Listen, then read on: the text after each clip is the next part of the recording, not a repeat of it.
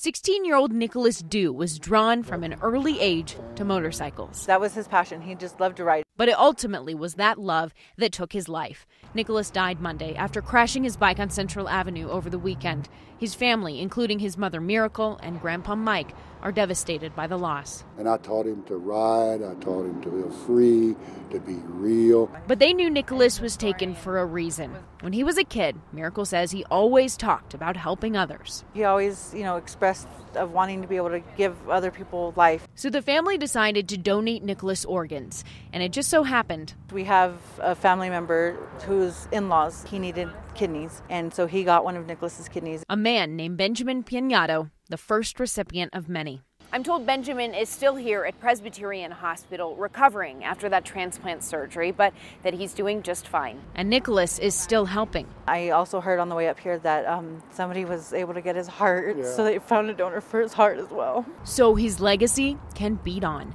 Kirsten Swanson, KOAT, Action 7 News.